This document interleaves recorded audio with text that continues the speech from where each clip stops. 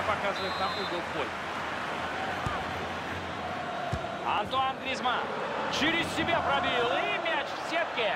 Одно слово. Кудесник.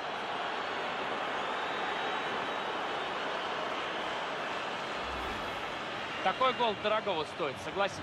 Очень грамотно они разыграли этот стандарт и смогли с него забить.